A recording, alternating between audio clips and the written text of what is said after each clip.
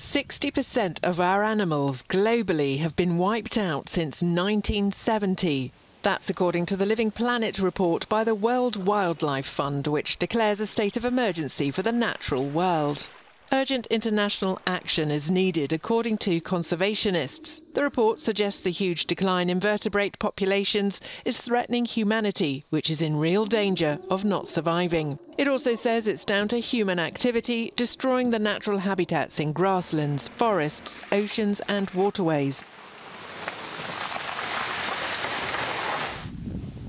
An agreement could be signed in November when representatives from 196 countries attend a convention in Egypt on biological diversity.